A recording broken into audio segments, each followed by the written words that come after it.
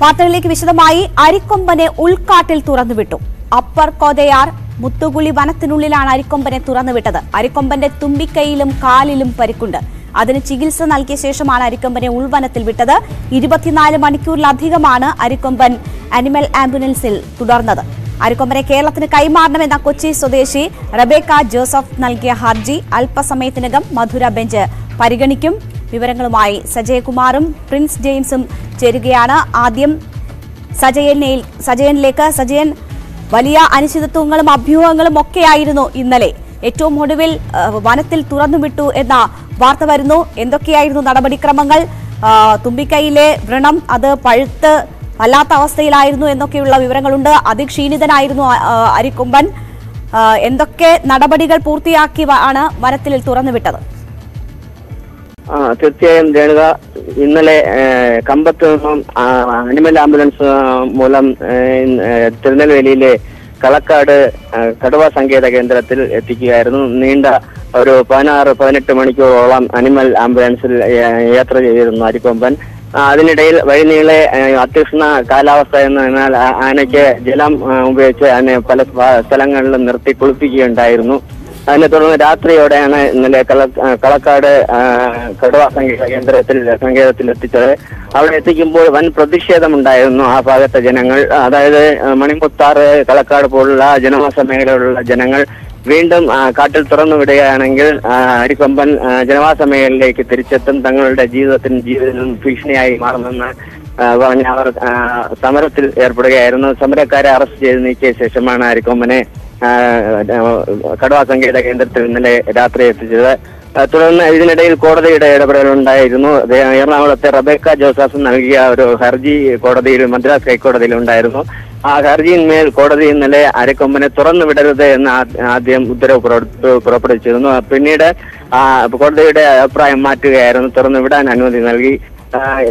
എങ്കിൽ പോലും ഇന്ന് വീണ്ടും പത്ത് മുപ്പത് മണിക്ക് ആ ഹർജിയിന്മേൽ വാദം കേൾക്കാൻ ഇരിക്കുകയാണ് അതായത് ഹർജിയിലുള്ള ആവശ്യം അരിക്കൊമ്പന് കേരള വനവകുപ്പിന്റെ നിയന്ത്രണത്തിൽ സംരക്ഷണം നൽകണമെന്നാണ് ഹർജിക്കാരുടെ ആവശ്യം. അതിന്റെ വിധി ഏതാനും നിമിഷങ്ങൾക്കും വരാനിരിക്കുകയാണ്. ഇതിനിടയിലാണ് ഇന്ന് രാവിലെ അരിക്കൊമ്പനെ മുത്തുക്കുളി അപ്പർ കോതയാർ കന്യാകുമാരി ജില്ലയുടെ അതിർത്തി പ്രദേശമായ അപ്പർ കോതയാർ മുത്തുക്കുളി എന്ന വന മേഖലയിൽ തുറന്നുവിട്ടിരിക്കുന്നത് അതിനു മുമ്പ് രാത്രി മുഴുവനും പൂർണ നിരീക്ഷണത്തിലായിരുന്ന അരിക്കൊമ്പന് ചികിത്സ നൽകുകയായിരുന്നു. തുമ്പിക്കൈയിലും കാലിനും ഏറ്റ മുറിവുകൾക്ക് ചികിത്സ നൽകി. അതിനുശേഷം തുടർന്ന് അതിന് മയക്കൽ വെച്ച് ക്ഷീണിതനായി കാണപ്പെട്ടുവെങ്കിലും അവസാനം വനംവകുപ്പ് അരിക്കൊമ്പനെ മുത്തുക്കുളി വനമേഖലയിൽ തുറന്നുവിട്ട് വനംവകുപ്പ് ഉദ്യോഗസ്ഥർ പൂർണ നിരീക്ഷണം നടത്തി വരികയാണ് ആനയെ ഇപ്പോൾ രേണുക. സജയൻ ഈ മുത്തുക്കുളി വനമേഖലയുടെ പ്രത്യേകതകൾ എന്താണ്? ഉൾക്കാട്ടിലാണോ അരിക്കൊമ്പനെ തുറന്നുവിട്ടിരിക്കുന്നത്?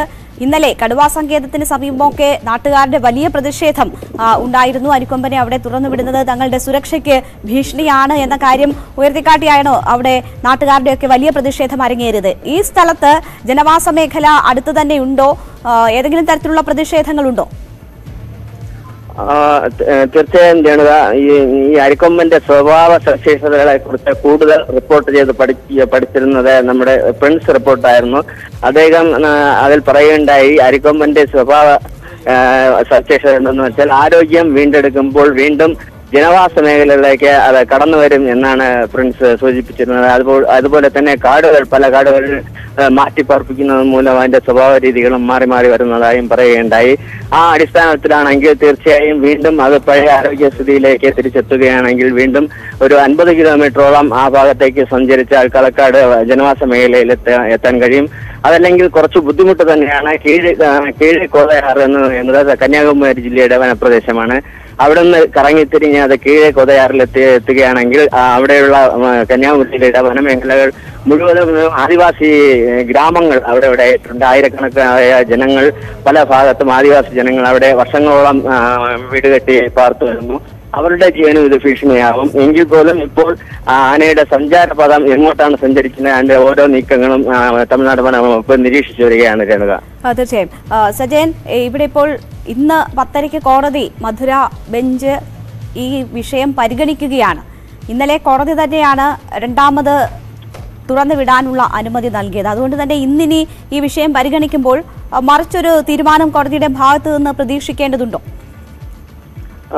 തീർച്ചയായും ആനയെ തുറന്നു വിട്ടതിനെതിരെ നടപടി ഉണ്ടാകുമോ എന്നറിയില്ല. എന്നാൽ ഹർജിക്കാരുടെ ആവശ്യം അനുസരിച്ച് കേരളത്തിന് കൈമാറുക എന്നൊരു ആവശ്യം ഉന്നയിച്ചിരുന്നു.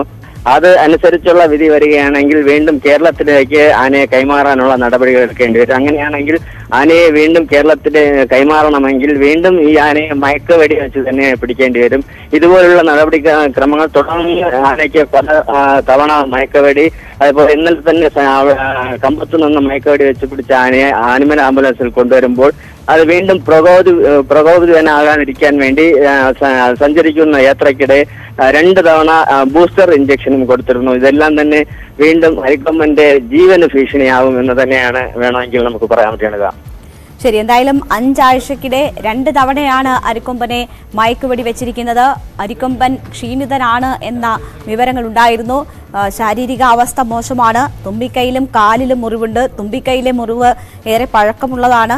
അത് പഴുത്ത് വ്രണമായിട്ടുണ്ട് എന്ന സൂചനകളുണ്ട്. എന്തായാലും ആരോഗ്യസ്ഥിതി നല്ലതല്ല. അതിനിടയിൽ നിരവധി യാത്രകൾ അലച്ചിലുകൾ ഉപദ്രവങ്ങളൊക്കെയും അരിക്കൊമ്പനെ ഏൽക്കേണ്ടുന്ന സാഹചര്യമൊക്കെ ഉണ്ടായിട്ടുണ്ട്. എന്തായാലും ഇന്നത്തെ കോടതി നടപടികളായിരിക്കും വളരെ പ്രധാനപ്പെട്ടത്. പത്തരയ്ക്ക് കോടതി നടപടികൾ ആരംഭിക്കും എന്നതാണ് സജയൻ റിപ്പോർട്ട് ചെയ്യുന്നത്. പ്രിൻസ് ജെയിംസ് കൂടി നമുക്കൊപ്പം ചേരുകയാണ്. പ്രിൻസ് ആ, അതിനാടകീയവും കുറെയൊക്കെ വിവരങ്ങൾ രഹസ്യമാക്കി വെച്ചുകൊണ്ടുമാണ് തമിഴ്നാട് അവരുടെ ദൗത്യം പൂർണമാക്കിയിരിക്കുന്നത്.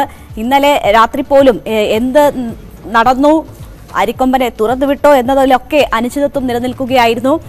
ഇന്നിനി കോടതി ഈ വിഷയത്തിൽ ഇടപെടാനിരിക്കുകയാണ്. കേരളത്തിന് കൈമാറണം എന്നതാണ് കോടതിയിൽ ഹർജിയിൽ ആവശ്യം ഉയർന്നിരിക്കുന്നത്. എങ്ങനെയാണ് കേരളം ഈ വിഷയത്തെ നിരീക്ഷിക്കുന്നത്?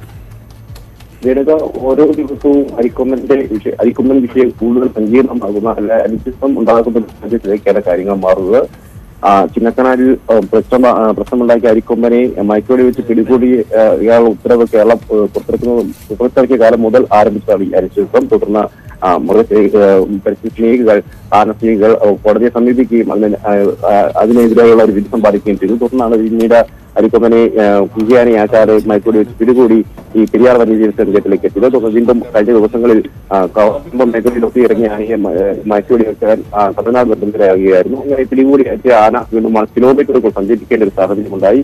ഇന്നലെ ഏകദേശം ഇരുപത്തി അൻപത് കിലോമീറ്ററോളമാണ് വ്യത്യസ്തമായ ഒരു സാഹചര്യത്തിൽ വ്യത്യസ്തമായ കാലാവസ്ഥയിലൂടെ ആർ സഞ്ചരിക്കേണ്ടി വന്നത്. അതായത് അരിക്കൊമ്പൻ ഇത്രയും കാലം ജീവിച്ചിരുന്ന സാഹചര്യം തികച്ചും വ്യത്യസ്തമായ ഒരു കാലഘട്ടത്തെ സാഹചര്യങ്ങളാണ് ഈ ദിവസം ഉണ്ടായിരിക്കുന്നത്. ചിന്നക്കനാലിൽ താരതമ്യേന തണുപ്പേറിയ പ്രദേശമാണ്. കൃത്യമായ മഴയും മഞ്ഞും ഒക്കെയുള്ള ഒരു പ്രദേശം.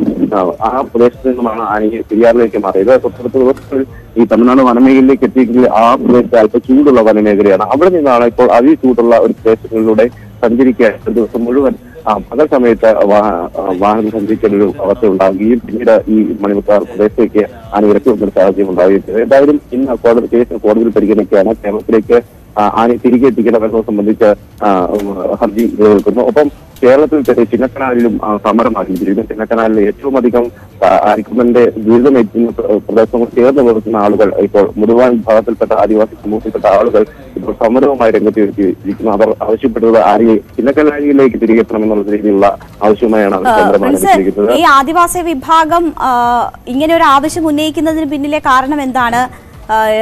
ഇവരുൾപ്പെടുന്ന വിഭാഗത്തിനല്ലേ അരിക്കൊമ്പന്റെ ആക്രമണത്തെ വലിയ ഭീതി ഉണ്ടായിരുന്നത്?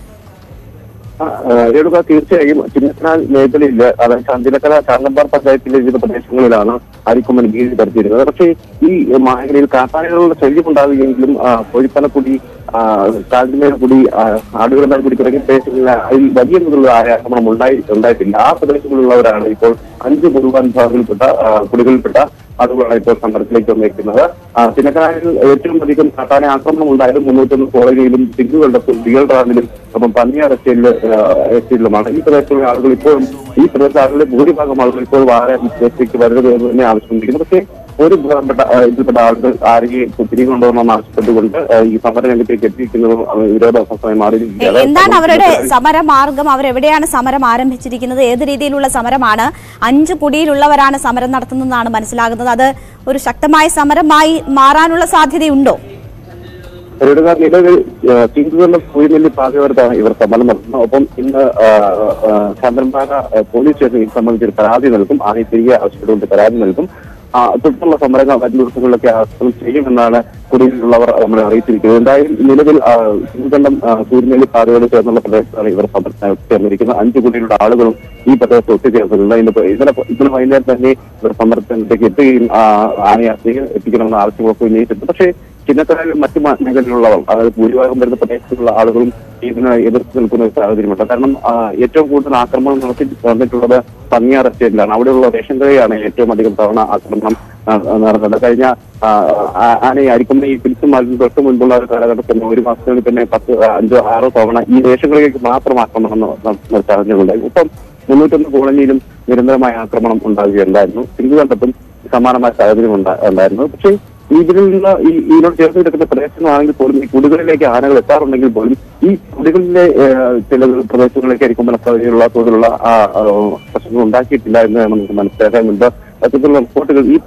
കുടികളിൽ നിന്നുണ്ടായിട്ടില്ല. മറ്റേ മുന്നൂറ്റൊന്ന് കോളനിയിലെ ആ, ആദിവാസി മേഖലയിലെ ആളുകൾക്ക് ഉണ്ടായിട്ടുണ്ടെങ്കിലും ഈ ആടുകുടന്താൻ കൂടി കോഴിത്തന കുടി ഇത്രയ്ക്ക് പ്രദേശങ്ങൾക്കും വലിയ തോതിലുള്ള കാട്ടാറിയുടെ ആക്രമണത്തിൽ ആളുകൾക്ക് പരിക്കേൽക്കുന്ന സംഭവങ്ങളൊക്കെ ഉണ്ടായിട്ടില്ലാത്തൊരു സാഹചര്യം. പക്ഷേ ഈ നിങ്ങൾ മറ്റൊരു വസ്തുത കൂടെയുണ്ട് ഈ ഈ സമരരംഗത്ത് വന്ന കോഴിത്തനക്കുടി നിവാസിയായിരുന്നു ശക്തി ശക്തികൾ. ശക്തി അതായത് മുൻപ് ആദിവാസി ആക്രമണത്തിൽ മരണപ്പെട്ട ഏറ്റവും അവസാനം പിന്നെ, ക്ഷമിക്കണം ആനയുടെ ആക്രമണത്തിൽ മരണപ്പെട്ട കുറച്ചു വാർത്തകളായിരുന്നു ഏറ്റവും അവസാനം മരണപ്പെട്ടത് ശക്തിയാണ് അദ്ദേഹം കോഴിപ്പനക്കുടി നിവാസിയാണ് ആ ആ- ആ കുടിയിലുള്ളവർ പോലും ഇപ്പോൾ സമരരംഗത്തേക്ക് എത്തി എത്തിയിട്ടുണ്ട് എന്നതും നമ്മൾ കാണേണ്ട ഒരു കാഴ്ചയാണ്. രേഖ ശരി. തുടരുക. പ്രിൻസ് സജയൻ ഒരിക്കൽ കൂടി ചേരുകയാണ്. സജയൻ ഈ ഉൾക്കാട്ടിൽ തുറന്നുവിട്ട ആനക്കൊമ്പ അരിക്കൊമ്പൻ വരത്തിലൂടെ കേരളത്തിലേക്ക് പ്രവേശിക്കാനുള്ള സാധ്യത ചിലർ പറയുന്നുണ്ട്. അത് പൊന്മുടി വനമേഖലയിലേക്ക് എത്താനുള്ള സാധ്യതയാണ് ചൂണ്ടിക്കാട്ടുന്നത്. ഈ വനപ്രദേശത്തെക്കുറിച്ച് കുറിച്ച് എന്തൊക്കെയാണ് നമുക്ക് അറിയാൻ കഴിയുന്നത്? കേരളത്തിലേക്ക് എത്തുക അരിക്കൊമ്പനെ സംബന്ധിച്ച് പ്രവചനങ്ങൾ സാധ്യമല്ലാത്ത ആനയാണ് എങ്കിൽ പോലും അതിനുള്ള സാധ്യതകൾ നിലനിൽക്കുന്നുണ്ടോ? തീർച്ചയായും ഭൂപ്രദേശം അനുസരിച്ച് നമ്മൾ പറയുകയാണെങ്കിൽ കന്യാകുമാരി ജില്ലയുടെ അതിർത്തി